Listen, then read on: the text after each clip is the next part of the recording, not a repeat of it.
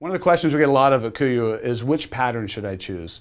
Both patterns are built off the same principles, which is high contrast and a micro pattern that work together to break up your profile at distance. Originally launched the product with Vias, really focused on developing a pattern that would break up your profile at longer distances in open arid terrain where we hunt sheep. And then we had requests from customers to get a more versatile pattern that had some green in it, and we created Verde that has evolved into now Verde 2.0, which is our most versatile pattern. If you're looking for a pattern that you can hunt turkeys, you can hunt sheep and deer in a multitude of environments, I'd recommend Verde 2.0.